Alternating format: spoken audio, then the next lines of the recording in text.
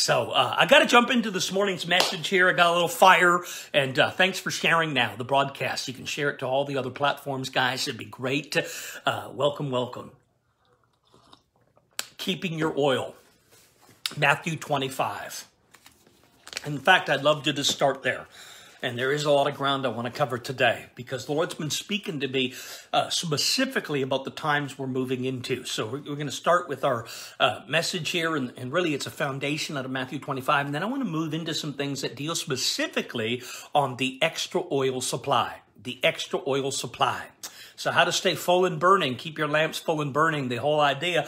But they took an extra supply of oil, and we need to know more than ever in these times of crisis or, or you know, shaking and uncertainty and crashing of economies, and you know, uh, you know, here on Wall Street, anyways, things are happening.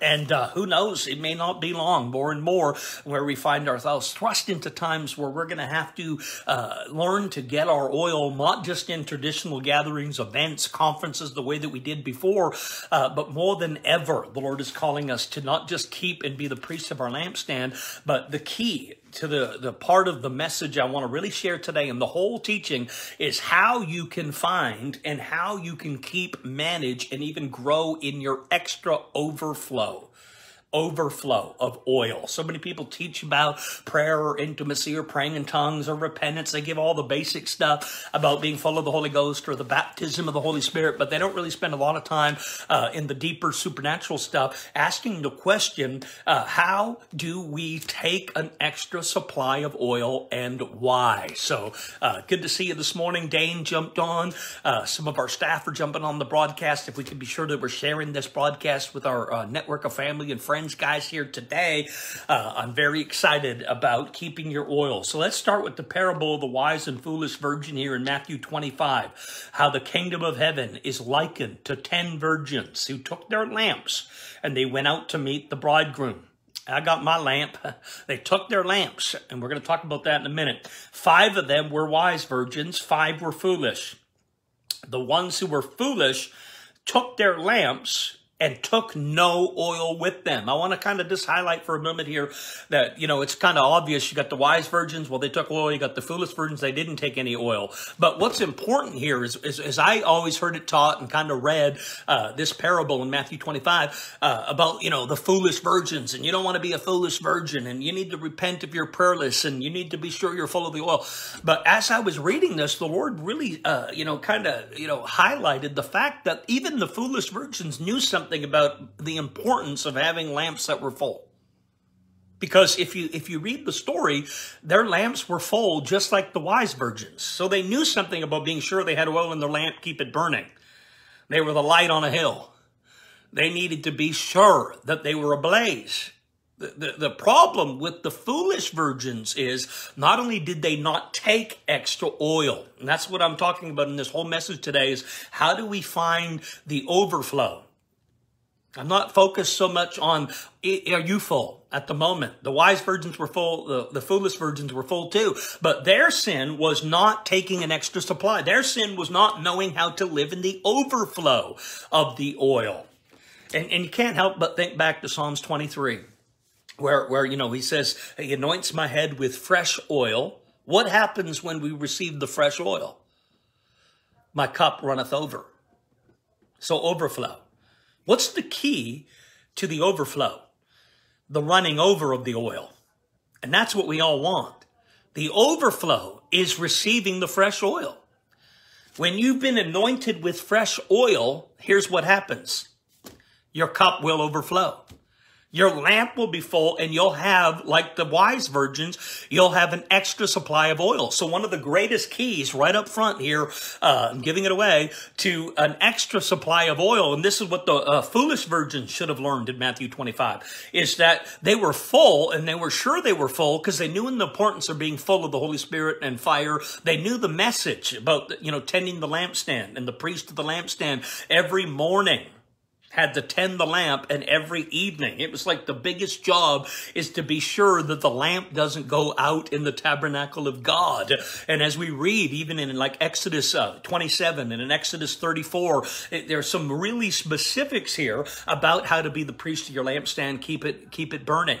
I remember hearing one guy quote, uh, uh, you know, revival message. Listen, it's the Lord's responsibility to put the fire on the altar. You can only get the fire from heaven, but it's your job to keep it burning. And that was the whole, you know, role of, of kind of the priests is they had to tend the, the oil morning and evening because they had to be sure that their personal lamp of revival was burning. I'm responsible, you're responsible. And this is what the foolish virgins in the parable of Matthew 25 didn't understand is it's not just about being full in the moment. How did they get full? Where did they get that oil? And why is it the wise virgins, or I mean the foolish virgins, didn't understand that like the wise virgins in Matthew 25, they knew to have lamps burning, but they knew to take the extra supply of oil. And that's kind of, I meet many Christians, they're burning, they're bright, they're blazing, but they didn't learn how to take extra oil. So when the oil runs dry, you can't just run to the next event or conference the way that you used to even a year ago and go, hey, I want some more. Can't run to your favorite teacher or prophet, maybe. Maybe you're like a lot of people, a little disappointed and a little disillusioned right now over the prophetic word and the prophetic voice. I didn't have a prophetic word. I didn't get involved in the prophetic politics. Not that I have an opinion either way. I'm Canadian, eh? But yeah, I'm praying for revival and great awakening in America. I'm, I'm holding the line in the sense that I stand on the word of God. I didn't say the word of any one man or the word of any one prophet.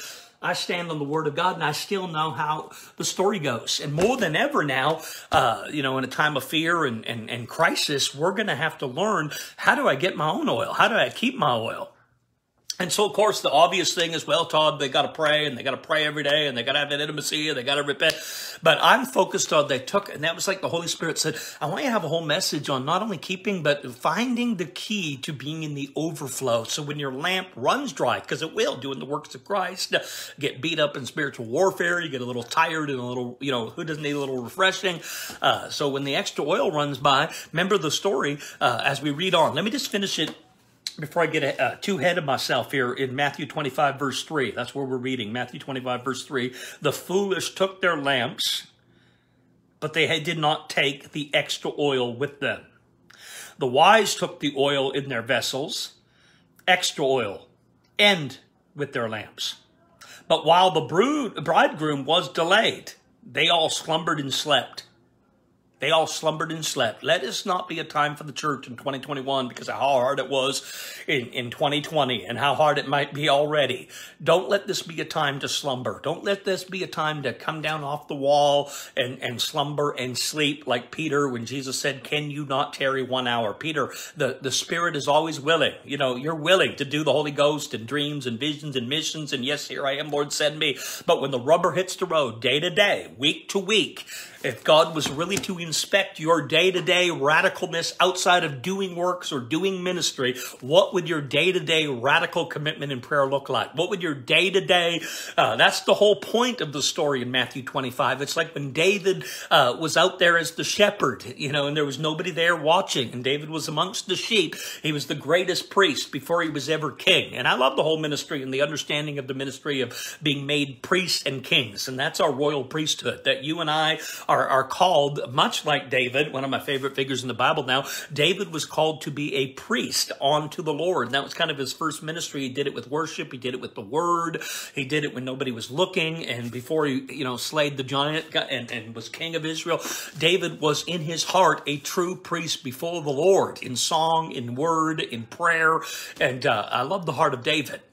And so as we move on, we're talking about the heart of David here. I love uh, the fact that David was anointed king. And when you look at the anointing that David received, we, the nature of the anointing is, is an ever increasing kind of growing anointing.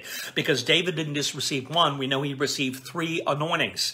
Uh, David's three anointings over the course of 16 years, over 16 years, David's three anointings. And he was anointed first as a boy, called out amongst all of his brothers. It was the horn of oil. Samuel had the extra oil, and he took the horn of oil and he poured it out on David. And he was anointed and had favor in the midst of all Paul's brothers. But then again, it was in 2 Samuel 2 uh, where David had a promotion, didn't he? His, his mantle grew, so to speak, his influence grew. And now David wasn't just king amongst, uh, you know, the discontent, broke, in debt, the mighty men that came to David in the caves in the wilderness and, you know, the whole story that plays out before David was ever truly king. He was king in his heart and he had a people meeting with him in the caves of Adullam. So as the story goes on in the second Samuel 2, the second anointing of David comes. He's anointed as king over Judah. That's a little bit more rule, a little bit more promotion, a little bit more influence, a little bit more of a bigger ministry uh, as far as he's now recognized and received as the king of Judah. And then you read about the third amazing anointing that David received, and it's in 2 Samuel 5. This is the third anointing. And this is where David was recognized and received and promoted to king in the eyes of the people, uh, you know, of all of Israel all of Israel. And then he had the decades of ruling and reigning in Zion. And that, you know, Zion, you know, speaks prophetically of the fullness of your destiny. And, and maybe it might take you uh, five years. Maybe it might take you three and a half. Maybe it might take you 16. But when you get to the fullness of what they call ruling and reigning in Zion, the prophetic picture of ruling in Zion is you're walking in the fullness of your third anointing. Some call that a kingly anointing, a kingship anointing. And I, I do do a series of messages on the kingly anointing, but uh, today, the anointing and the nature of the anointing grows as it did in the life of David when we're faithful and, and we're faithful in the little and, and he received. So we understand the principles of growing in the anointing. And, uh, and so today, talking about the extra oil, using the, the, the story in Matthew 25, the foolish virgin, the wise virgin, I, I looked at it different than I had all the times before. And I was like, well, Lord, the wise virgins had the, the lamps burning, but so did the foolish virgins. So before you rebuke them, they also knew something about having full, and they were able to get their lamps full. At one point, you know, the the, the foolish virgins in the story did get their lamps full, but their sin was they did not take extra oil in their vessels. And so I was referencing earlier in Psalms 23, the great, the Lord anoints my head with fresh oil. So one of the keys to having not just your lamp full and full of the Holy Spirit, but the overflow is to be touched by the fresh oil. Why would David call it fresh oil if there wasn't fresh oil? Yesterday's oil isn't what you need for today's anointing. And, and there's always fresh oil. Every day there's fresh anointing. Every day there's fresh oil. The fresh oil is an automatic. When you're touched continuously with the fresh oil, your cup will overflow. So uh, I'm excited about the overflow here this morning, guys, and uh, talking specifically your lamps. And I want to kind of come back to the lamp because we know we're talking about the lampstand, and we, you know, can't help but maybe picture the the seven lamps and the golden pipes and the bowls and the the whole uh, seven lamps of the menorah. Which uh, right there, the lampstand here speaks of the seven spirits of God. Right, it had seven bowls, seven golden receptacles that could receive the oil. We're going to come to that in a moment, Zechariah four, and we're going to tie it into the great witness in Revelation 11. And, and that's kind of where I believe we are and where we're going. So you're waiting for the prophetic part of the message today. Uh, you know, I'm going to get there and, and why I believe this is one of the most important messages on keeping your oil right now.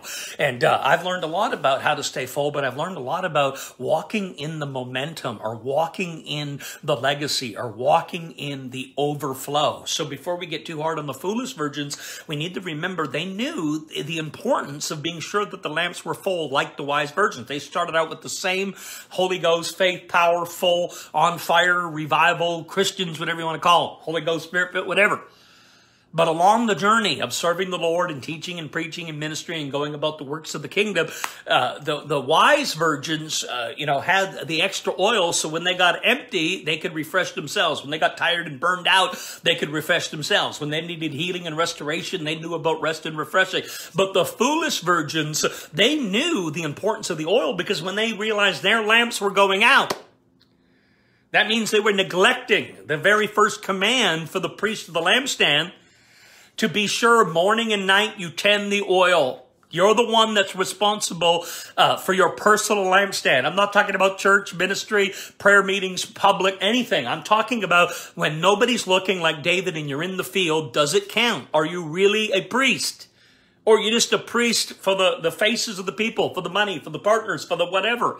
And uh, you need this. We're coming into an hour where the goat nations are going to be separated, the sheep nation are going to be separated, the foolish virgins are going to be exposed. And they were foolish because when their lamps were going out, they went to the wise because they knew the importance of the oil here. Just like most believers, they know the importance of the Holy Spirit and fire and prayer and intimacy and all the Christian basics and foundational truths. But they didn't know uh, how to get their own oil because when they went to the, the, the wise virgins, they said, give us some of yours. Give us some of your oil. You remember the story. Well, why do you want my oil? Why do you know that you need my oil? My lamps, uh, our lamps are going out. We're tired. We're weary. We're a little beat up. We have the oil, but we don't know how to get more. And the Bible goes on in the story. The foolish said to the wise in verse 8, Matthew 25, verse 8, Give us some of your oil, for our lamps are going out. But the wise answered and said, No, lest there should not be enough oil for us. You can run out of oil. You can run out of oil. Some people are operating without the anointing. And lest there not be enough for us, but rather go yourself. Now, this is the call to go yourself to those who sell and buy for yourselves. And while they went to buy, because they needed to go to the source of the oil, we know the source of the oil. And we know we have to ourselves have that alone intimacy. Nobody can do it for us, not your pastor, not Todd Bentley online, not any of your favorite prophets online. In fact, you should all take a social media break. I haven't been on here other than me from preaching. I'm tired of all the fighting and all the division and all the stuff that seems to not be kingdom right now. When we ought to be worried about the greatest harvest, when we about the opportunities that are before us in a global pandemic, globally, the fear that's amongst the people here in America, the fear that we're socialists, that we're being censored, that we're being shut down, that we're going to the left. The fear is around the world right now as, as, as there's so much uncertainty uh, in a day. Listen, it's more than important than ever that you are a wise virgin and that people know that you're burning and people know that you have an extra supply of oil. But more and more, the, the foolish virgins are, are being shown up in this hour as maybe what worked in the 90s or the early 2000s and you're able to run the conference to conference, meeting to meeting and get all the prayer lines and bam, bam, bam, bam, bam, and people pray. I still do that. I believe in impartation. I'm not taking away from the importance of impartation, but if you don't realize that you're living in a day where you need to gather not just enough oil to keep it in your lamps, keep it burning, but the extra supply of oil. You need to know how to be touched with fresh oil because when you're anointed with fresh oil, there's an automatic your cup will runneth over. The key to running over and the overflow is in the fresh oil. So you ought to learn everything you can about the fresh oil. Why is it called the fresh oil? Why did David say he anoints my head with fresh oil? Again, in Psalms 92, it talks about being anointed with the horn of the fresh oil. God was even going to exalt my horn, my life, my strength, my vision, my purpose, like a wild ox.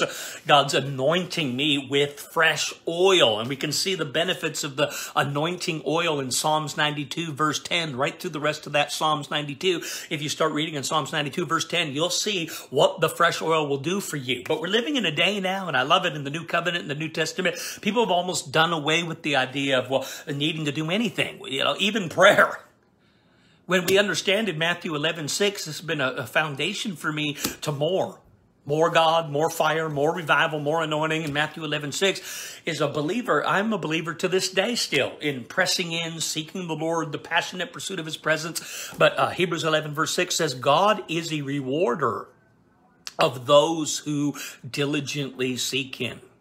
So there's something about diligently.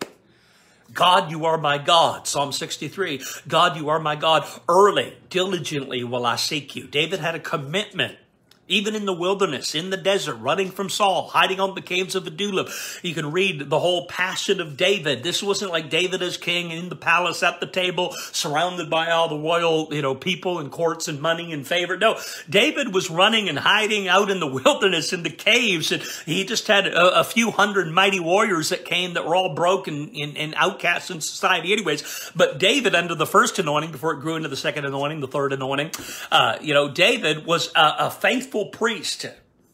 He was king and priest, but he knew that the key to being king was priest. And it really is true to this day. You're not just called to be a priest, the ministry of the worship of the word. You're also called to be a king. And kings reign in this life.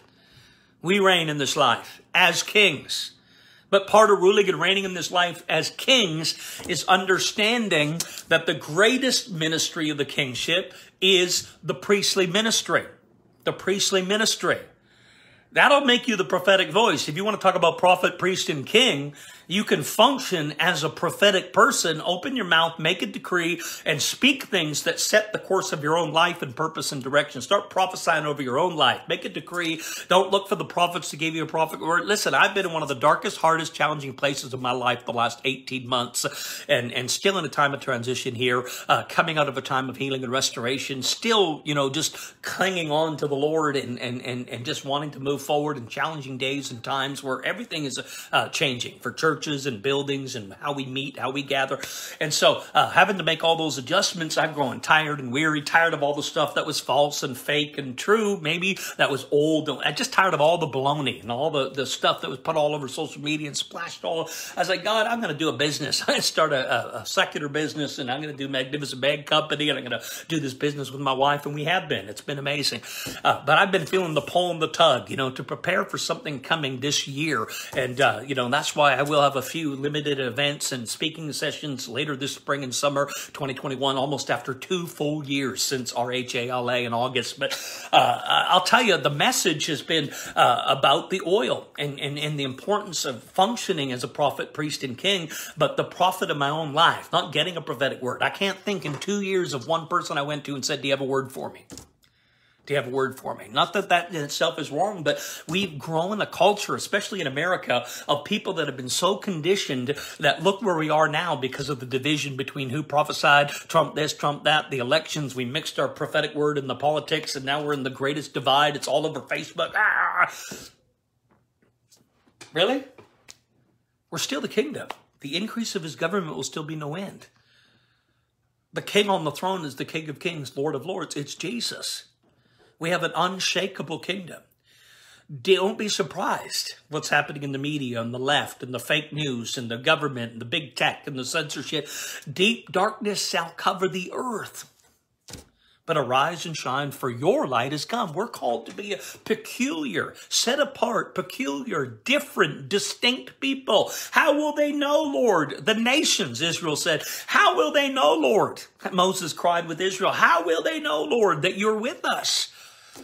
He said, I'm going to make you a distinct, peculiar, separate people. And people knew that God was with Israel by the glory by, by day and by the fire by night. Those signs are coming again. We're living in a day where God's going to separate the false. We're in the true valley of decision. We need to decide right now whose side we're on.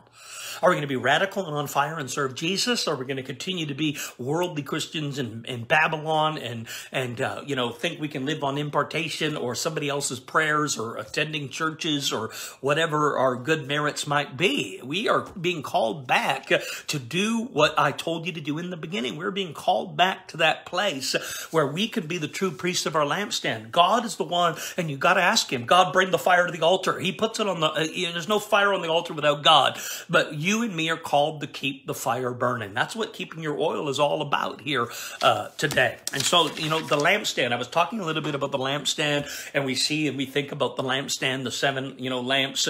Uh, it represents the seven spirits of God. Where was Jesus standing in, in uh, Revelation uh, 120? He was standing in the midst of the seven lampstands. So we know prophetically, let me lay a foundation for a moment here, that the lampstands speak of the seven churches, not seven just churches, but seven being the complete full church.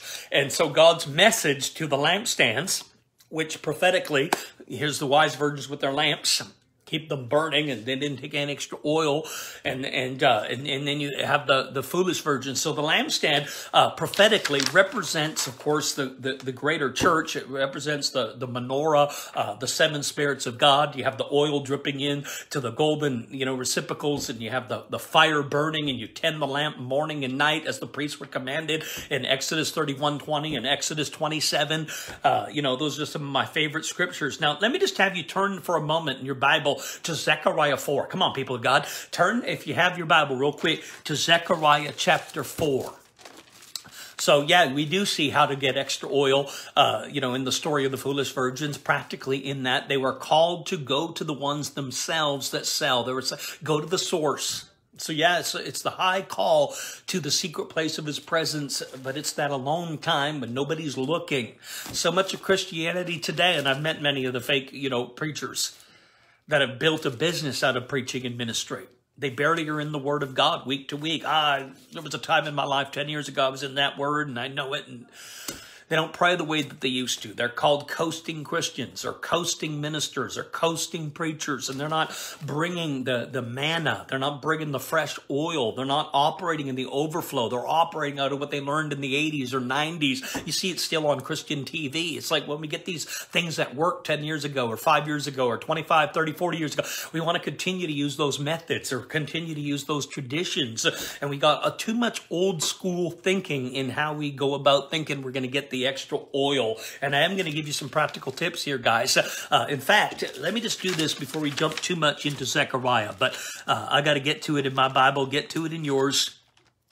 Zechariah 4, and before you just know it all, especially you preachers, let me present a couple of different ideas here about the sons of fresh oil. I just love that term. I used to preach many years ago a lot of kind of messages on the sons of fresh oil. And I don't hear a lot of people talking about the sons of fresh oil how to be a son, how to be a daughter of fresh oil.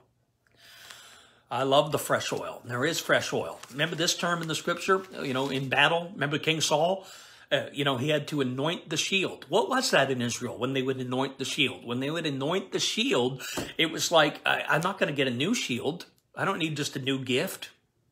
I'm just going to take the shield that I've been using. I have my gift, my calling, my purpose. And rather than just trying to get a new gift all the time, chasing after new mantles all the time, uh, whatever, I'm going to ask the Lord to anoint my shield because it, they say that a shield that that's had the wine and the oil and you know there's a process of applying the wine and the oil continuously to the shield in battle and uh, it's stronger than just kind of breaking in a new shield. So they would anoint the shield they already had, the gift, the calling, the purpose, and they would get fresh oil on it. That's a prophetic picture. Just like the shepherds that were responsible for the sheep. You know, there's a prophetic picture I love about the oil and how it protects you, the anointing, how it protects you, is the, the sheep, if he was a good shepherd, because, you know, uh, when you're out there in the fields, those white poopy, stinky, fluffy sheep. I've seen them in the hills of Wales, Scotland.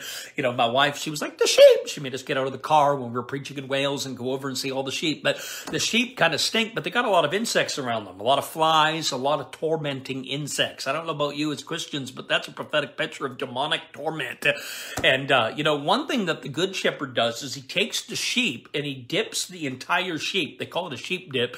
And he dips the entire sheep into the oil, not just part of it, not just a little dab of oil will do you. Here's a little holy anointing oil. No, you dip the whole sheep in the oil and you'd call it a sheep dip. Why? Because uh, the, the oil would be saturated. The sheep would be dripping in oil, protecting the sheep from all the, the insects that want to torment. And so it's time for us to pray, Lord, I need a Holy Ghost sheep dip. I need you to take me and dip me in the, the Holy Ghost oil. I want to drip with the fresh anointing. What happens when you get the fresh anointing? He anoints my head with fresh oil. It's an automatic overflow. So if you're ready to live in the overflow, there is no my cup runneth over. There is no extra supply of oil besides what's burning in your lamp if you don't know how to get and find and maintain uh, the fresh oil, which we know can only be found uh, in intimacy with Jesus. Yes, you can get it through the laying on of hands. Yes, you can get it through impartation. Uh, the foolish virgins went to the wise virgins and said, hey, our lamps are about to go out. Pray for us to have some of your oil. But here's what the wise virgins knew.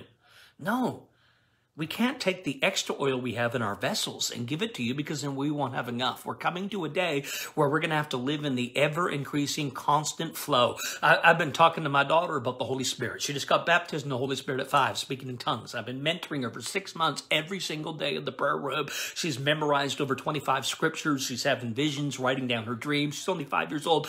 We spend at least 30 minutes soaking, waiting on the Lord. She says, Dad, are we going to have a vision? Are we going to see the same thing in the spirit realm at the same time like we did two other times? Times, Dad.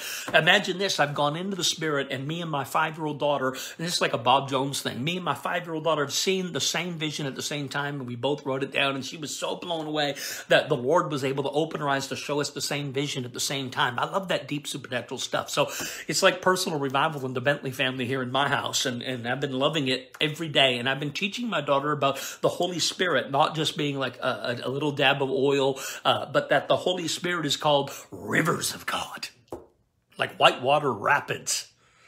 I don't know about your Holy Spirit. It's not just a little oil, but my Holy Spirit is rivers of oil. The rock, rivers of oil. I'll pour out my spirit like water on him who is thirsty, like floods, floods on dry ground. Now, that's a lot of Holy Spirit. I'll turn your desert and your wilderness into pools. I'll turn your wilderness into an oasis streams and rivers in the desert. Why is it God's got rivers running through the dry places? God's got rivers running. He's got pools. He's got an oasis. He's got an outpouring for you that's not like water, but the outpouring is floods. I mean, who would like to receive the floods of the Holy Spirit? I mean, you don't even have enough room in your lamp to receive the floods. That's going to give you overflow. So part of how you perceive the Holy Spirit, how did Jesus have the Holy Spirit? It says Jesus had the Holy Spirit without measure. Jesus didn't have any measure. He had the Spirit without measure. The fact that Jesus had the Spirit without measure suggests to me, and I've experienced this to be true in Scripture too, is that the Holy Spirit without measure is possible. It's called the fullness of God. Of His fullness we have received the fullness of the Godhead in bodily form, Jesus, the head of the church, and of his fullness, even of his grace, we have all received. So we need to learn how to receive and tap into the greater vine. We're the branches but being tapped into the greater vine, into the greater source, into the greater, we're a tree planted by the rivers. Hallelujah. And you need to understand that when Jesus, speaking of the Holy Spirit, he said Holy Spirit would be rivers of living water flowing from your belly. Rivers of living water. So I've been teaching my daughter, that's how you need to see the anointing. When you're laying hands on people and you're praying for healing, in Jesus' name, you need to see rivers. And those rivers go all the way back to the source, to the throne of God in Revelation 22, don't they? And it's a river of life. It's a river of healing It's a river of harvest, as you see the river of God in Ezekiel 47. And so that's how I teach on the anointing. And I think that's an important truth there, guys. Uh, I said we were going to get to Zechariah 4, and I'm trying to get there real quick. And, and, and, in my Bible, I just keep getting Holy Ghost carried away. Shalarabasha. Pray in the Spirit for a moment. Get stirred up, guys. Uh, the minor prophets here. Uh, remember, uh, if you're just joining the broadcast, revivalharvestministries.org is live. There's a new update letter from me and Jessa uh, what's up for 2021, share a little bit of my journey the last 18 months of healing and restoration and rest and recovery. Uh, but we're getting ready for some stuff in 2021. So we've been talking earlier about RHA Charlotte, North Carolina coming up, how you can sign up, be a part of our teams, evangelism, worship, prayer, uh, the outreach. If you heard about RHA Ole in New York, RHA uh, Los Angeles, uh, here we are, the first here of 2021. It's all about the streets, souls, reaching people with the gospel. March 18th to the 21st. Go to our website website, revivalharvestministries.org. Click on the RHA graphic and figure out how you can volunteer and be plugged into what's about to take place in just a few short weeks uh, in our first massive evangelism event in, in Charlotte, North Carolina. If you've ever been to a conference, Fresh Fire, if you've ever been to Secret Place Church, if you've ever been to Morning Star Ministries, it's going to be an entire new ground that we're going to start to pioneer.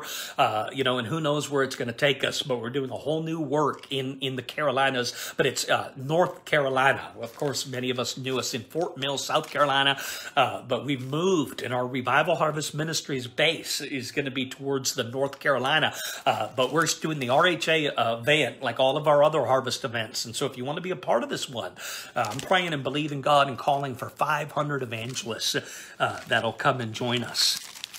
So all the details and how to volunteer are posted on revivalharvestministries.org. It's also where you can have your updated partner information. You can give anytime that you want to as led by the Lord. You want to sow into the oil. You want to sow into RHA and souls and sow a new seed, to honor the Lord with the first fruit seed here. Uh, you can tell there's a fresh anointing and something fresh happening in our ministry. You want to sow into it. Yeah, impartation, sowing, giving. That's another way to partner in with the oil. But, uh, you know, remember, we have updated Fresh Fire Ministries to Revival harvestministries.org. And our website is a one stop shop for information. So check it weekly. In addition to sign up for our free weekly podcast on iTunes, Supernatural Living Messages. Let's get back to our teaching here today on how to operate in the overflow, keeping your oil and taking an extra supply. So, Zechariah chapter 4, reading in verse 11. Zechariah chapter 4, verse 11. The prophets had a dream, the prophets had a vision. and he's talking to the angel, uh, continuing in his vision that starts in Zechariah 4.1. We're picking it up in Zechariah 4.11. So the prophet Zechariah is engaged in this trance-type vision, in this conversation with an angel of awakening in Zechariah 4.1, the angel that came to awaken him. So it's an awakening angel in Zechariah 4.1, the angel that woke him up. And so we read on in Zechariah 4 verse 11, uh, I answered and said to him, What are these two olive trees at the right of the lampstand and at the left of the lampstand? And I further answered and said to him, What are these two olive branches that drip into the reciprocal of the two golden pipes? Are you the branch and he's the vine? John 15. The branches bear the fruit. Fruit happens. It's not something we work for. Fruit happens. How does fruit happen? Abiding in the vine. We are the branches. In this is your Father glorified that you bear much fruit, fruit that remains. He wants you to be fruitful. He gives us the key to fruitfulness, and he calls it uh, the anointing, intimacy, and fruitfulness. That's what John 15 paraphrased all about the anointing, intimacy, fruitfulness. You have the anointing because of intimacy. Anointing and intimacy produces fruitfulness, much fruit. The Father is only glorified in more souls getting saved, more churches being planted, more demons being cast out. Uh, the Father is only glorified that you bear fruit, but much fruit, and fruit happens as long as you're focused on I'm the vine, and the vine does nothing, but you know is sure that He guards the secret place of His presence, and He's sure that He's plugged into the source. He's plugged into the vine. And here we have the branches dripping the oil. Could that be you and me, ministries? You and me are the branch that drips the oil. The oil is dripping into seven pipes. The oil pipes have a, a reciprocal, seven reciprocals that receive the oil that's dripping from the two olive branches. And, and we know in this story, the source of the oil is the olive branches. I want to come to this for a minute. The source of the oil is, is there's, you know, standing uh, olive branches, olive trees, if you would, on either side of the lampstand.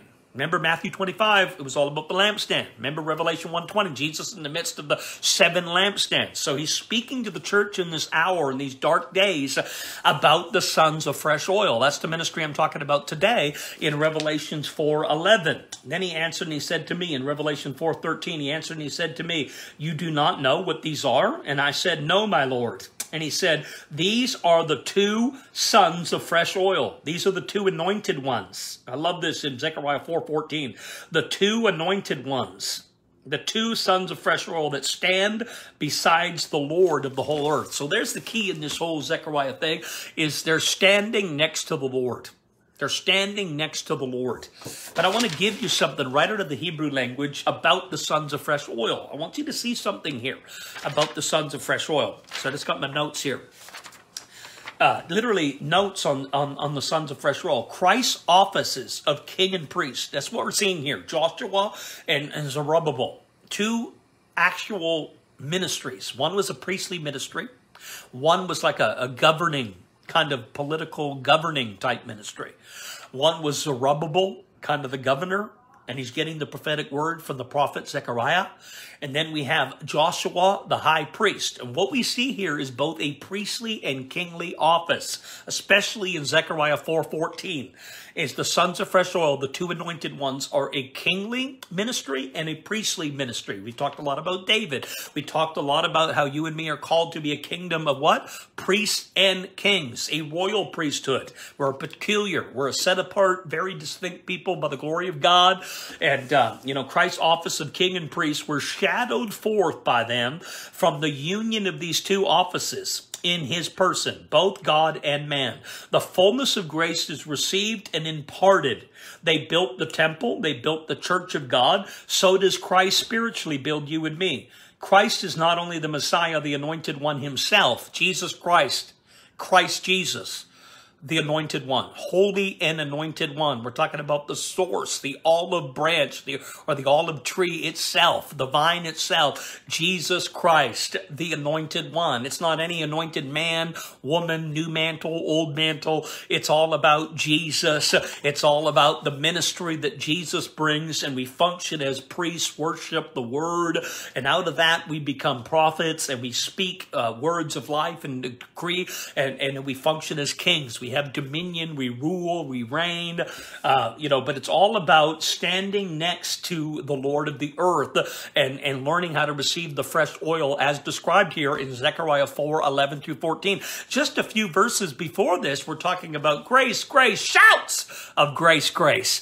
bringing forth the capstone, the finished work from the foundation of the temple that was laid to not by might, not by power, but by my spirit, Zechariah 4 6. It's not military might, strength, 401k, money, stock market. Those are great things to have and use for the kingdom, but we can't depend upon them that they're even going to be there in the days to come with what's coming and how dark it's going to be. But we are moving into the days where the sons of fresh oil are ready to arise and shine for your light has come. The key is not only on keeping your oil and being sure that the lamps are full like the wise virgins, even the foolish virgins in Matthew 25, they were sure that their lamps were full, but their sin was they didn't know the overflow. They didn't take an extra vessel of oil. Not only can you be full of the Holy Ghost, faith, and power and burning, but you can take an extra vessel of oil like the wise virgins did.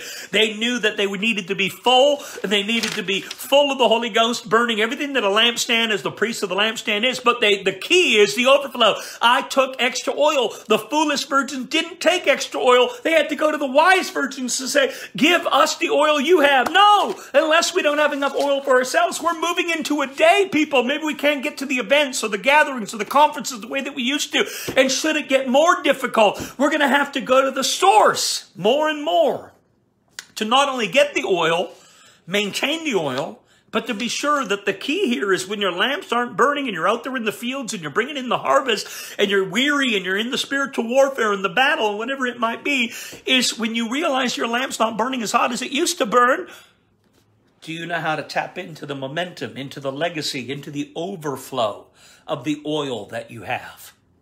How about building the extra oil, multiplying the oil, the overflow of the anointing? So we see here in Zechariah 4.14, as I've been teaching, uh, we see the sons of fresh oil. And I want to kind of give you this idea. The angel, having expressed his astonishment at the prophet's ignorance, because the prophet Zechariah did not know what he was seeing. He said, I see two bushes of the olive tree. The olive tree stood there. There were two, B'nai Yitshar. I don't know if I'm saying it right. B'nai Nitshar, sons of fresh oil in the Hebrew, B'nai Nitshar. It literally means to be endued or supplied with extra oil. Did you see it? Right there in Zechariah 4.14 in the Hebrew. The Hebrew word for sons of oil, B'nai Yitshar, literally means not only is your lamp full, but you're endued with extra supplied oil. Endued with extra supply oil. If you're enjoying anything about this message, want to hear it again, or think anybody would be blessed by this message, would you hit the share tab now?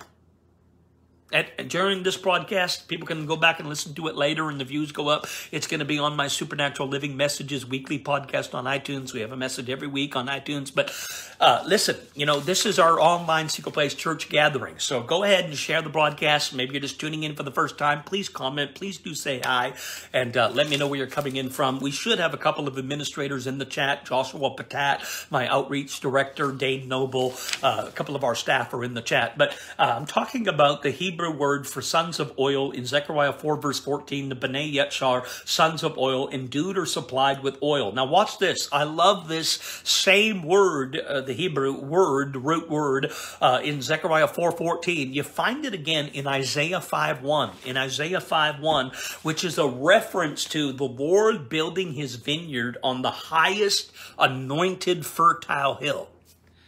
That, that's a term for the sons of fresh oil, uh, where the Lord establishes his work. The Lord establishes his vineyard, his garden, his work, his purposes by grace in your life by putting you on the highest fertile, most anointed hill. The Hebrew word there for sons of fresh oil, found again in Isaiah 5 verse 1. Search it out. It's pretty amazing. But we have to be endued with oil. We have to be supplied with the extra oil. And we know that this is the Holy Spirit. So coming back to the golden lampstands, the imagery here in Matthew 25, the wise virgins, the foolish virgins, the imagery here again in Zechariah 4. We see it again in Revelation 11. I might get there if I have time. We see the imagery again of the lampstands prophetically uh, throughout the scripture. The golden candlesticks or the lampstands, like in Revelation 1.13, Revelation 2.1. The seven candlesticks are the seven churches in Revelation 1.20 the apostle.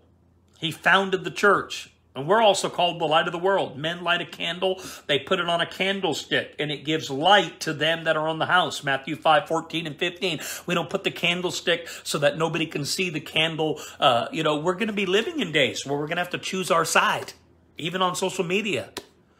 And you're going to have to choose to be a light, no compromise. And when nations are goat nations and maybe not sheep nations, maybe the city or the region you live in is going to line up more with the goat type nation than than than uh, the sheep nation, or or it's not going to be a city of refuge, uh, whatever state or city you're in. And we're starting to see division in our nation here already, and who knows where that division is going to go? They're talking about introducing new states.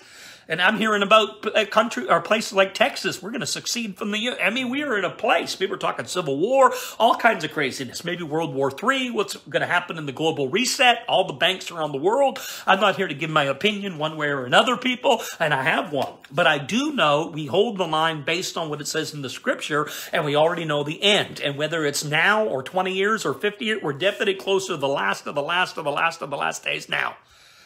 And more than ever, the message is we need to be sure that we have an oil and that we have an extra supply of oil because we may be living in days where you can't get away for a whole week and pray the way that you like to and soak the way that you like to and get alone with God the way because you're thrust into the busyness of revival on the streets, uh, uh, seeing tens of thousands saved. In the midst of that, your lamp might not be burning the way that it used to, but if you know how to live in the overflow and you know how to have the extra oil with you, you won't be like the foolish virgins who had lamps that were full, so they knew something about prayer and the oil and being right with God, or they wouldn't have had full lamps. They wouldn't have prepared that much. But their failure was they, they, when the oil ran out and they weren't refreshing themselves and they were in the meeting and they were teaching and preaching and doing all these nights of revival. When it came to the end, they didn't know how to refresh themselves and get filled up again. This is why I believe Jesus, even after the disciples, are, oh, the demons, we cast out demons, preach the gospel, heal the sick, cleanse the leper, raise the dead, cast out demons. And they do all these works for the Lord in revival, and it says the Lord called them away to be alone for a while the Lord called them to himself to be alone with him for a while. So I believe there's still calls like that, especially in these dark days. Uh, it's going to be key more than ever that we're hearing the prophetic word, not because we're reading QAnon conspiracies and prophesying them, mixing them into our prophetic word with our policies or prophetic stuff. And I'm a Trump fan. I do believe all the prophetic words about the purpose of Trump. I didn't give or follow any of the prophetic stuff about the recent elections, but I do believe that God has used and will continue to use Trump as a trumpet. Uh, you know, regardless of my opinion politically, I'm a Canadian. I don't vote anyways. So don't get all offended. But we are living in the days where the Lord is calling us back to we already have the script. We know how it's going to play out. And I've been amazed at how unchristian Christians have been and how much Christians have been panicking and freaking out since the pandemic of 2020. It's like they don't remember their Bibles. They don't remember that we're called in the end to be priests and kings and to bring the government of God into this world. And it doesn't matter what's happening in the world around us. Whether all this led to, I'm not saying it will, but whether it all actually did to a global reset and a crash of the economy and what ends up coming out of that is a one world government and a one economy and people are going to have their antichrist kind of stuff uh, uh, uh, I'm just saying right now, why should that concern the Christian? Why should the Christians be in such panic over what just took place in America's elections when we know the end? When we know who we are? And so I've been talking about this. Let me, let me just say uh, a couple of things about the oil. We love the sons of oil, the people possessed of oil. That's what the sons of fresh oil are sons and daughters possessed of the oil of the Holy Spirit. They're oil bearers. They're, they're channels through which the, the Holy Spirit can move. You and me are the branches. The branches are dripping into the bowls. We're the ministry of Christ, the anointed one. Christ, uh, the Christ ministry, Christ in you, Christ in me, Jesus through you, Jesus through me, the oil dripping from the branches in Zechariah 4. So um, coming back, and I do have a few minutes here, and we're going to end in Revelation 11. Revelation 11. Just go there with me again. And, and it's important to understand using Scripture in context to interpret Scripture. Scripture in context to interpret Scripture. So you can't go through the whole Sons of Fresh Oil, Zechariah 4, without tying it into Revelation 11. Now look at Revelation 11. I was given a reed like a measuring rod. And the angel stood saying, You're going to measure three things. It's important that you catch this in Revelation 11 1. The angel of God has a divine measuring rod to measure three things. This is what God is measuring. He's measuring what? The altar, the temple of God, and those who worship. What does God measure in our life when the angel comes in Revelation 11 1? The altar, prayer, the incense, how fiery are the prayer bowls of Revelation 8 full of the incense? Are the bowls full? Over a city, over a region, over a church, over a nation, over a ministry. He's measuring. Why? Because when the measurement hits the right, then the bowls tip over. Answered prayer. So he's measuring the worship or the temple in Revelation 11 1. Why is he measuring the temple? That's the church the life of the church, the community of the church, how the church functions as the true body of Christ from head to toe, feet, the fullness of God manifest in bodily form through the church. We don't see a whole lot of that because we're so built upon building one man or one woman or one mega ministry. We're not focused on the church is the, not only the head, but the church is the fullness of Him, the fullness of God expressed, manifest. You'll never have the fullness of God manifest unless it manifests through the body. And if the whole body's not learning to work together, the church won't have the fullness of God. Forget about any one ministry or one believer being super anointed and being the fullness of God. I'm talking about the lampstand and, and using the language of the lampstand, it's always the greater church and it's not one individual. Okay. Just like the Matthew 25 parable, the wise virgins, the foolish virgins, that's you and me. Where do we find ourselves in the story? So being consistent with Scripture to interpret Scripture. We come to Revelation 11, and the third thing that God is measuring is the worship. Now, why is God measuring the worship of the temple? He's measuring the worship of the temple in Revelation 11, verse 1, because he wants to know the passion. Are you really worshiping in spirit and truth, or is it with religious form and tradition and you go through the motions? But no, God is wanting to know when that worship, when the church of God, you know, becomes uh, in Ephesians 4, the full full manifestation of the of the of the fullness of God, Jesus, in all of its ministry through all of the body, apostles, pastors, prophets, teachers, all the body. A great fullness of God will be displayed to the nations through the church, not through one man or woman or you or me, uh, but we got to be plugged into the body. Jesus is the head. So uh, again, we see in Revelations 11 what happens when he hits the fullness. Ready?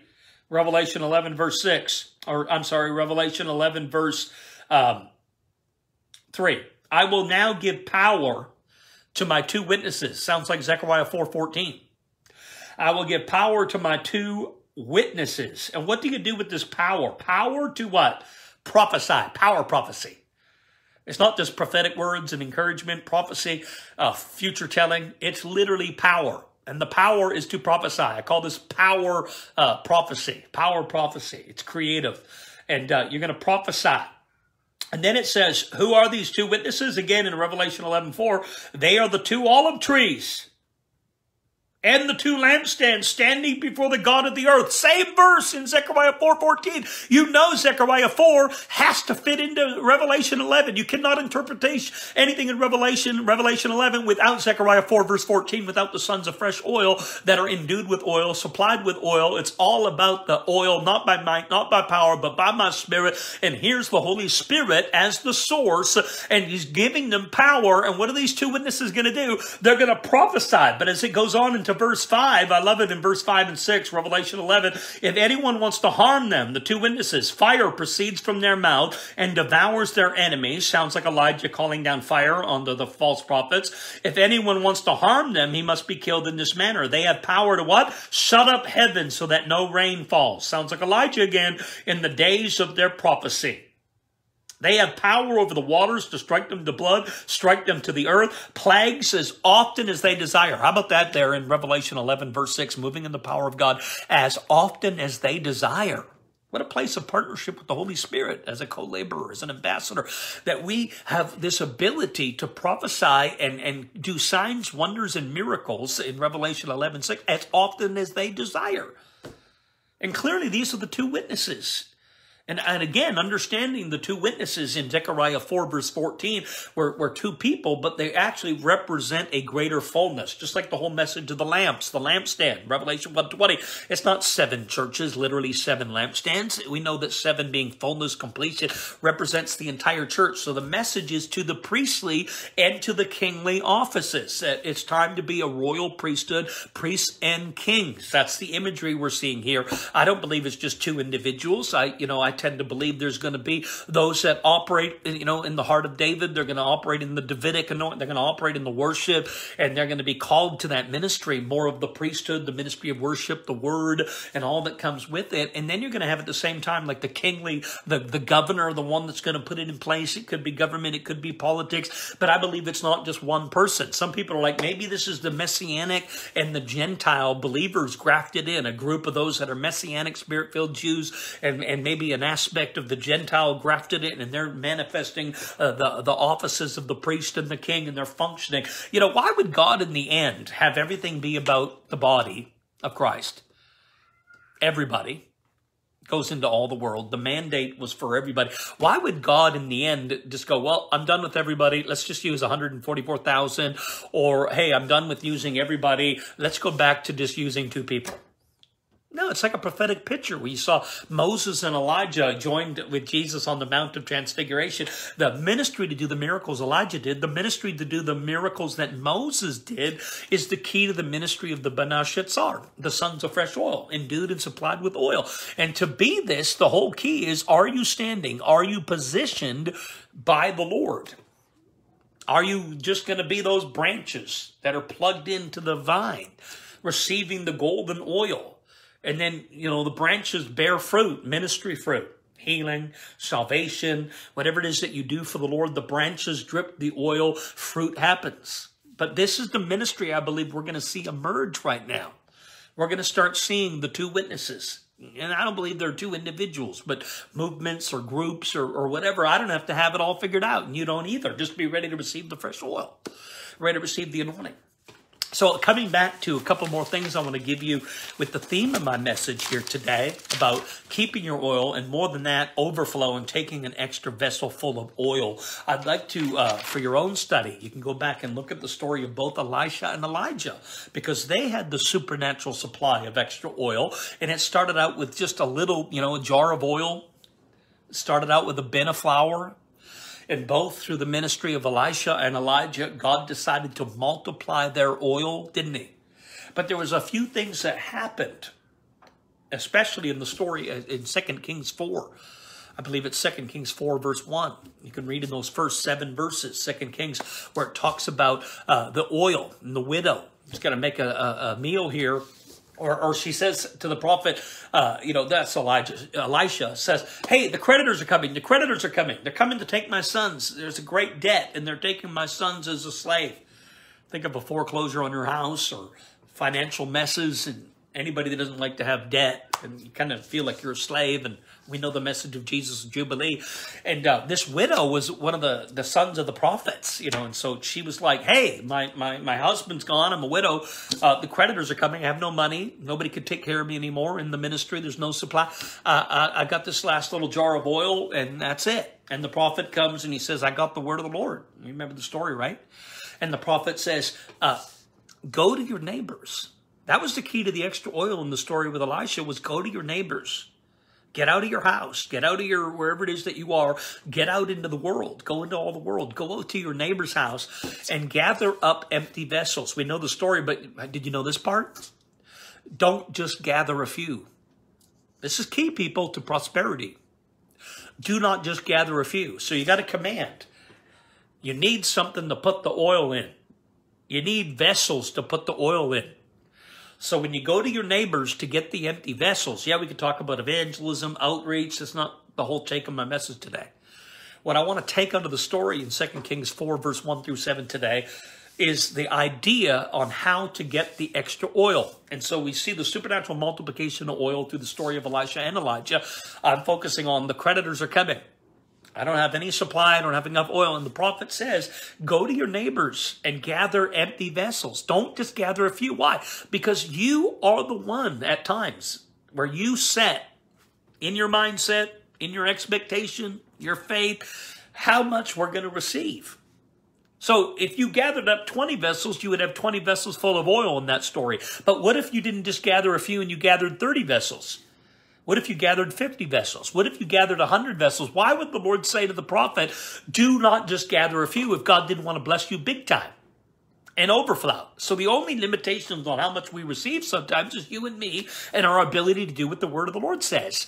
And in this story, the prophet Elisha is saying, go to your neighbors and get these empty vessels because you're going to need them for that little jar of oil. How are you going to take that little bit of oil and turn it into an extra uh, supply, overflowed, multiplied oil? Well, when you take that oil or the vessels into your house and you shut the door, you pour out that oil into the empty vessels. And as long as it was an empty vessel to pour into, the oil did not run dry. That means the lamp kept burning and they always had an extra supply of oil overflow so that when you said, my lamp's not burning, like the foolish virgins, hey, give us some of the oil you have because our lamps are about to go out. Well, you needed to take an extra vessel of oil. Well, here's the key to the extra vessel of oil is to be sure he who refreshes others will he himself be refreshed. The law of the Spirit that if you're refreshing others and you're being a vessel that brings healing and hope and life and promise and the glory to others. He who refreshes others will he himself be refreshed. But you must also understand there is a practical point to the story about receiving the extra multiplied oil in this story is to be sure, are you going to your neighbors? Are you going to the ones that are empty and need to be filled up with the good word of God? They need to be filled up with the hope that you bring and the life that you bring. I just had the chance with my wife right here in my own home to pray for two uh, of the ladies that have been coming into our house, the housekeepers, and uh, we had two of them coming in into our house, and they've been you know, beautiful people in our home and we give them gifts and they bring us gifts. But this was the first time we opened up and said, Hey, you were in a car accident, the two of them in our home. And my wife and I, just, just happened a few days ago, right here in our house, we're able to pray for them. And they had such an encounter with the Holy Spirit. One was crying and she was shaking and she got a healing in her neck and, the, and visibly was shocked by the uh, power of the Holy Spirit coming on her. And we were able just to pour out those uh, vessels. And I find for me, when I'm moving moving in revival ministry, as long as I'm in the momentum of revival day in and day out, even, I, I operate better than go, go, stop take a week two off. Go, go, go, three days, take a weekend off. Go, go, go. Stop. I, I, I function much better in night after night, salvation, healing, deliverance, miracles, because when I'm in the momentum and after I'm done the mission or the mandate or the revival or whatever it is I'm doing, conference, then it's time to sit back and be sure I'm as focused on those alone times or rest times, doing what I would do in the busy times of revival or events or preaching or conferences or crusades, that when I'm not doing those things, that I'm still in prayer every day and I'm in the Word every day and I'm praying in tongues every day and I'm doing the practical things that can help me stay full of the oil as well. Hallelujah. Because you don't want to stop. Somebody said it, good quote. You do not want to stop the flow. And you can see the story again with Elijah, and, and, and his story was very similar, but it was the small bin of flour that did not run dry.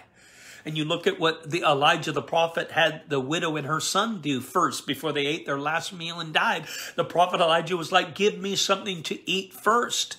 Be sure to take care of me, and, and I'll be sure to make sure there's a supply in your life. I believe that's a principle too. God may lead you to, to give, to tithe to a particular church or ministry, uh, partner with a particular ministry. It could be a man of God, could be a woman of God. Uh, different seasons, you're, you're led to have different seeds or different partnership or different types of giving or partnership. But, you know, that's what Elijah said. Hey, partner with me if you'll make me a cake first and be sure to remember that if you honor the prophet in the name of the prophet and take care of the ministry and the word that I'm bringing to you, then you'll have no lack. Your bin of flour will not run dry. That's what Elijah said. Your bin of flour will not run dry. I can speak and prophesy to your wallet, to your business, to your finances, to your bank account, and I do. I say in the name of Jesus, your, your supply shall not run dry. That little bin of flour should have made one last meal, and the widow was going to eat it, her son was going to eat it, they were going to die. Elijah said, make it for me first. Give it to the prophet first. Serve the word of the Lord coming to you first, and, and give something of value that you have in your house, and, and all that you have left is this one little jar of oil, and you're afraid you're going to die, well, give it to me first. Doesn't make sense. It's contrary to everything that we think about. Why wouldn't you be bringing groceries to the poor? And the prophet shows up and goes, I got something better than just bringing you groceries or giving you a check. I'm going to give you a word that will cause your bin of flour to not run dry. And that's where I believe spirit led sowing, spirit led giving Again, I always have an opportunity for people to sow and plant seed. If you got a revelation about seed time and harvest and giving, and you want to honor the Lord today and sow into today's message, even, uh, and you're giving maybe your tithe and you're offering anyways, pray over it when you give today on Secret Place Church, when you give today on our website. Uh, maybe you're giving today and you're using PayPal, or find a way to sow a seed and, and let me prophesy that your bin of flour shall not run dry. And see, that's another way we tap into the multiplied oil. You know, that there can be men and women of God or, or ministries God calls you alongside of, and, you, and you're, you're, giving them life, you're giving them ministry, and in return, you're going to eat that meal, and their whole house is going to eat that meal, and they're not going to run out of supply. They're not going to run out of flour. They're not going to run out of money uh, because she chose to obey and hear and receive the ministry of the Word of God first. And that's another principle in receiving the extra oil. Consider that in your giving today. And I am going to ask you to give today on revivalharvestministries.org. I'd ask you to go to our website and sow a first fruit seed, uh, launch us back out. This is more than a comeback, uh, and be a part of the new thing that's happening. Plant a seed. It could be $10, it could be 100 whatever the Lord says. If you want to give on PayPal, you can. Uh, we have a PayPal as well, but all the links are, are going to be in the giving section. Go to our website, revivalharvestministries.org. Yes, you can give on freshfireusa.com, and many of your partners know how to give anyways. But thank you for your spirit led giving today after the broadcast. And I do have a PayPal if you want to give. I don't receive a money or I don't receive an honorarium for doing these messages. Uh, you know, uh, but uh, if you want to sow a seed, you can. PayPal.me is my PayPal, uh, PayPal.me forward slash Todd Bentley. Thank you. I'll pray over every gift, over every seed. Uh, but let's continue here. Uh, I want to pray over you guys. I want to pray over you guys here. I want to pray for the fresh oil today. I hope you go back and, and, there's a lot of stuff I dropped in this message and hear it again. I'll upload it to our Supernatural Living messages on iTunes. You can sign up for free on iTunes and be sure to get my weekly podcast, Supernatural Living Messages. Thousands are getting that podcast every week and they're hearing this message. And many are hearing this message today on Secret Place. It will be on YouTube. It'll be uploaded into our media center within 24 hours. But uh, Father, I thank you today for a fresh outpouring of the Holy Spirit. I thank you for those uh, that are praying for, for the oil, for the fresh oil, that, Lord, there would be a supply of oil that would not run dry. Just like the of flour and Elijah prophesied, uh, you know, because she chose to honor the ministry of the prophetic word and uh, her of flour did not run dry. Just like as long as there were empty vessels to pour into, the oil did not stop flowing. I thank you, God, right now, that more than just a fresh anointing, Lord, pour out the overflow. I'm going to prophesy and decree that you, your church, your ministry, your, your business this year is coming into the overflow, coming into the overflow. Yes, thank you for that. Uh, Marianne, we love you guys. Uh, please say hi. Let me know where you're coming in from. If you're just joining the broadcast, I want to comment with some of you for the next few minutes. But Lord, release that fresh anointing, the oil, the light, the revelation, the fresh fire of the Holy Ghost. Let those lamps burn bright and let those extra vessels of oil be filled up. Lord, show me how to get. And listen, be open to this. Let the Holy Spirit speak to you and show you in your own unique way, like he showed Elisha and Elijah to go to those widows. Ask the Lord specifically in this season, Lord, what's the key to growing in, not stopping the flow, the overflow for me, my call? How about my business? Uh, the Lord can show you a unique strategy, just like He did for Elisha and Elijah. The Lord has unique strategies for you that might not seem to make sense to anybody, but the Lord's speaking to you. And that could be about how you sow or how you give or how you plant. It could be right down to the Lord sends you out. Get out of your land, get out of your country, and, and you know, start the journey. And, and, and, and in the end, it'll unfold the progressive unfolding nature of revelation. As you take those first steps, like Abraham, uh, I'll open it up for you. So be open to hearing the unique word of the Lord today, or even uh, as you seek Him and go, God, what's the key for me to be like the wise virgins? I don't want to be like the foolish foolish virgins. And uh, God, I want to be a, a, part of the, the two witnesses. I want to be a part of that kind of ministry where you trust me with power. Listen to that again, Revelation 11, verse 6, as often as they desire. And what was the key to God releasing the power in Revelation 11, verse 3 and 4? Power to prophesy, prophetic power. God measured three things in Revelation 11, verse 1. He measured their prayer life, he measured their worship life, and he measured their church life.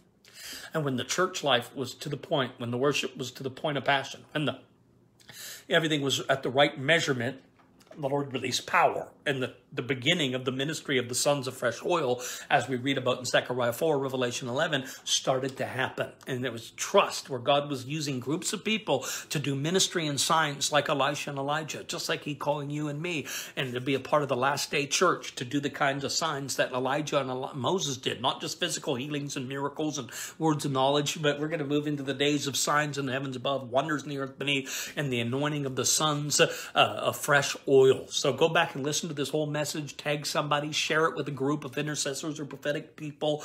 I want to say God bless you and remember all the updates, how to give, how to partner, how to get information about RHA Charlotte coming up in Charlotte, March 18th to the 21st. Register, volunteer, all of that and everything I talked about can be found on our website. You can still visit freshfireusa.com, but our new ministry website and new ministry, revivalharvestministries.org. So would you give today? And if you have a tithe today, and I'm praying that if you're blessed by today's message, you should all be sowing a seed, letting me know that you appreciate what we're bringing to you, uh, and uh, honor the Lord with a first fruit seed. You can do that secure on our website after the broadcast. You can go to revivalharvestministries.org and plant a seed. Or if you want to be a blessing personally to me, to my wife Jessa, and you want to honor the prophet in the name of the prophet and sow a seed, uh, my PayPal is uh, paypal.me forward slash Todd Bentley. I do, I am set up with a Cash App as well.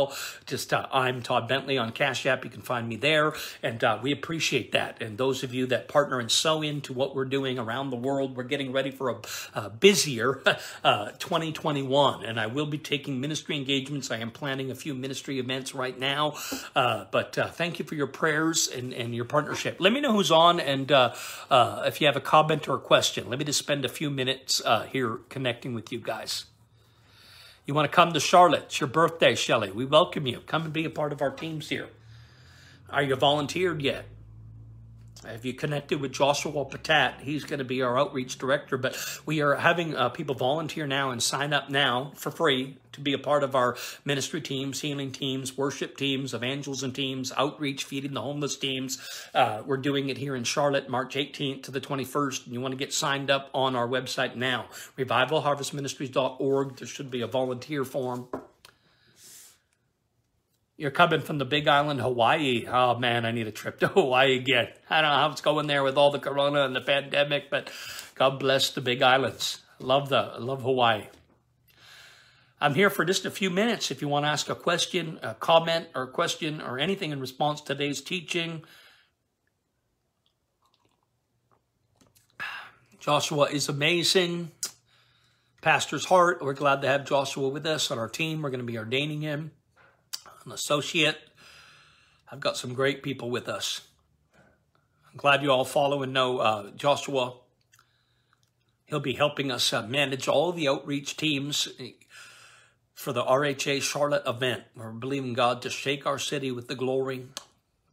A fresh release of the Billy Graham mantle here in Charlotte, North Carolina. Mark, uh, do you remember me from our lunch in Abbotsford years ago? Mark, I don't. I had probably 500 lunches with people in Abbotsford. I'm sorry, Mark. But my kids still live in Abbotsford, precious. I haven't been up there in a long time, but God bless you, Mark. Thanks for watching today. You can catch me here, uh, you know, Sundays at 11 a.m. on the Secret Place Church group. If I'm not preaching, we have a guest. I'm so glad that you're doing that. Come and receive the fire here, and and uh, we're going to have hundreds doing it here, uh, outreach uh, for the RHA Charlotte event. We'd love to have you come down and serve and be a part of that there, uh, Stefan. Uh, and maybe you'll get an impartation, take it back, and we can maybe lend some strength to what you're doing in the streets of your city.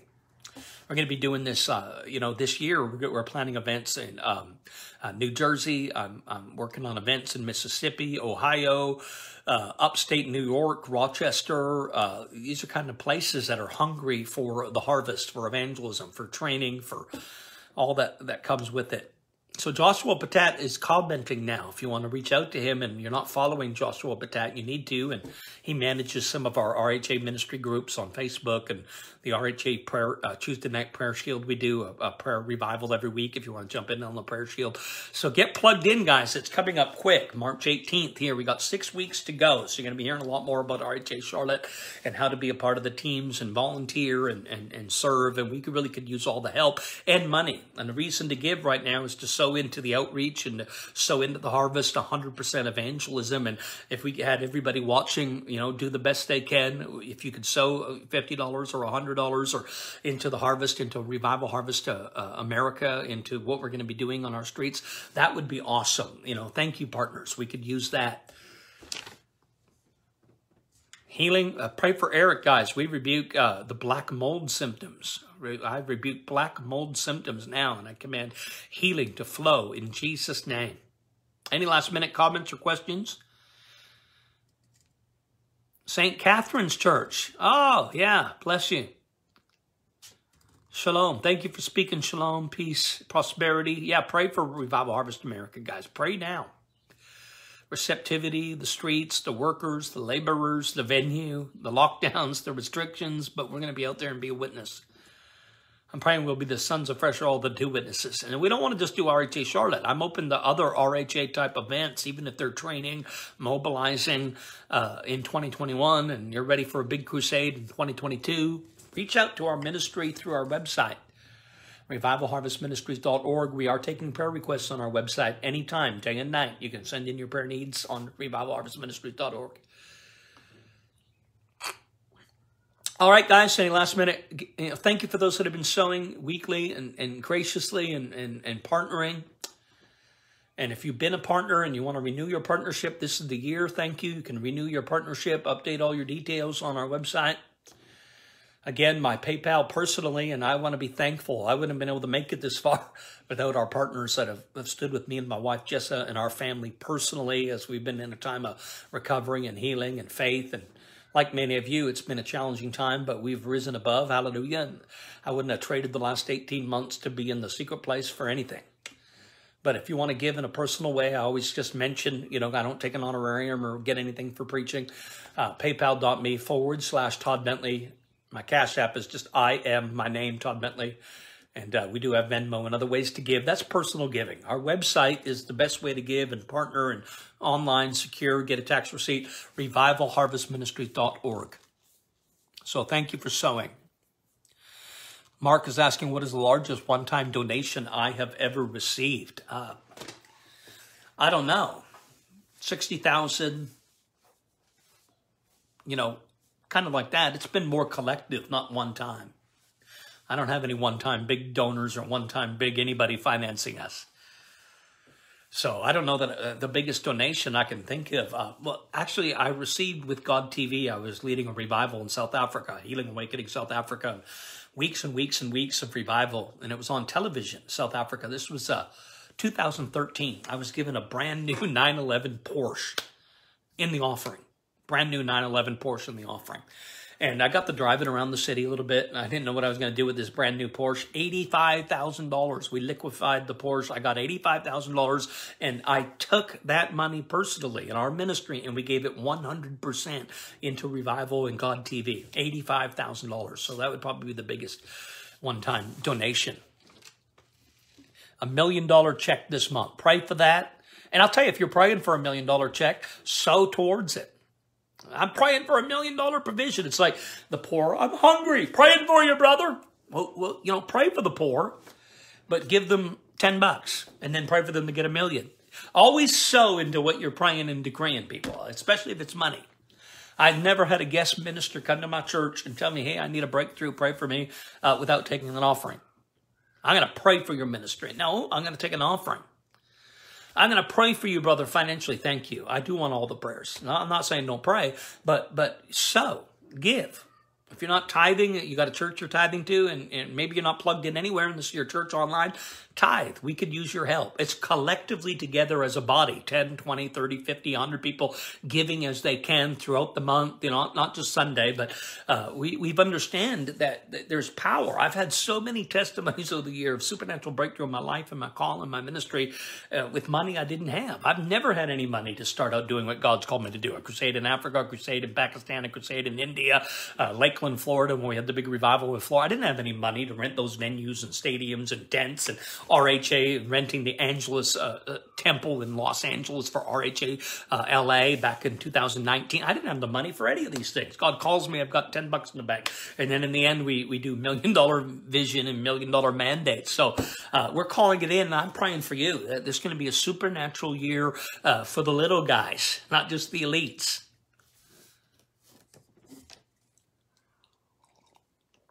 Thank you, Adam. Any last minute questions while I'm hanging out before I end the broadcast? I've got a supernatural mentoring I'm doing today with a pastor from um, uh, Australia. And people, you didn't know this maybe, but you could schedule personal one on one mentoring and personal one on one coaching sessions with me. And we'll talk about money, partners, fundraising, ministry, revival, the supernatural, angels, whatever you want me to mentor you in. Uh, and you could set up an hour, and I do have a few spots open if you're interested in getting an hour with me uh, for one of my personal mentoring or coaching sessions. And uh, I don't advertise it a whole lot because I'm busy, but um, I've got a and the, the broadcast here this morning. Get ready, you know the time zone is different in Australia, and uh, I have a couple of people uh, from uh, like Australia, New Zealand, England, you know America, and they just get up with me on the phone sometimes once a month or once a week or bi-weekly, and you know I pour into them and I mentor them one on one. And uh, we don't have a set cost, but you can do it. It's a donation based, uh, and you can reach out to me personally. This is not through the ministry, this is personally. Uh, and I can coach you in any area that you want, a group of leaders if you want. And I know a few things about setting up your ministry and setting up your business and how it all kind of works, the behind the scenes, and I can give away all those goodies uh, and help coach and mentor you spiritually, practically. You can reach out to me uh, on, on my uh, if you know me by you know, Facebook or email, of course, you can DM me. Uh, you can reach out by text for those that are really in the know, or uh, send a message, you know, through our website, revivalharvestministries.org. Uh, this is not our mentoring for partners program we have. That's the classes we do. I'm doing a new one with Michael Fickus coming up in March. Uh, that'll be free for partners, but I am uh, putting together one-on-one coaching. And some people have wanted to pick my brain about supernatural or revival or angels or how to build structures and raise money do their 501c3 and how to get those 3,000 monthly giving partners and, you know, how you've been able to do that over 24 years, Todd. I've been able to sustain my life and ministry through good times, through hard times, and here we still are. And I would like to share that wisdom with many of you that would like to uh, have me mentoring or coaching. You want to set up a time, we can do it by Zoom or Facebook Live and just kind of you and me. So uh, if you're in the loop, reach out. Hi, Kim. Good to see you. Thank you for being a friend and partner with us these months. We appreciate you, Kim. Anybody else on the broadcast want to say hi real quick? Blessings and favor, traveling mercies on that trip to California.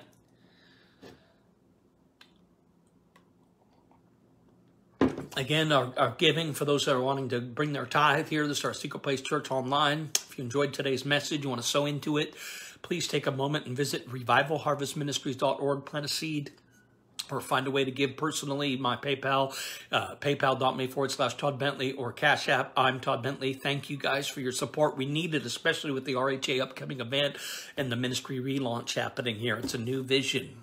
Thank you guys. Oh, the email. I, I think it's Todd Bentley, uh, Todd Bentley mentoring at gmail.com. I actually have a mentoring email. If you want to email me, put that up. Todd Bentley Mentoring at gmail.com. T O D D B N T L E Y. Todd Bentley Mentoring at gmail.com. Oh, there's my buddy Charles. Thank you, Charles. Man, you've been a blessing. God's plugged you into what we're doing. I don't know if you're going to come down for the uh, RHA Charlotte event there, uh, Charles, but we just appreciate you and thank you for the, all the, the times the Lord has led you to give and sow. Couldn't have done it without you, brother. Sow yeah, if you want to set up that one hour of, of, of, counseling with me or set up something bi-weekly or monthly or for a series of time and you'd like me to mentor you and coach you personally one-on-one, uh, email me, toddbentleymentoring at gmail.com.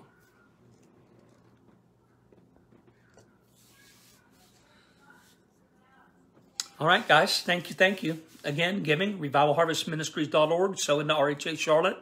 We need those $1,000 gifts. You want to sow a personal seed, you're blessed by today's message, and you want to uh, just thank you, Todd, paypal.me forward slash Todd Bentley or Cash App.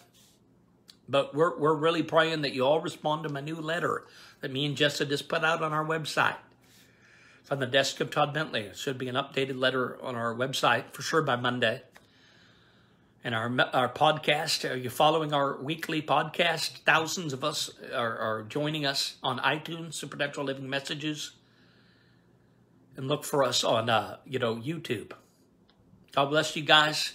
Thanks, Joshua Patat. Hope you reach out to him about the outreach. He's got all the details. God bless you guys and be filled with fresh fire. Share the broadcast uh, from today. Spread it around your network and pages and let people be blessed by today's message on keeping your oil. Thank you for joining me. Bam. See you next week, 11 a.m. Bam.